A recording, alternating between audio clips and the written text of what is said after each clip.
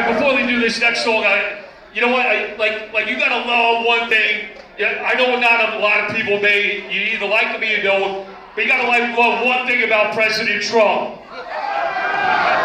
The one thing is, like, he does not give a fucking shit. Like, he was flying over it when they when they bombed, they dropped that bomb of all motherfucking bombs on them people over there.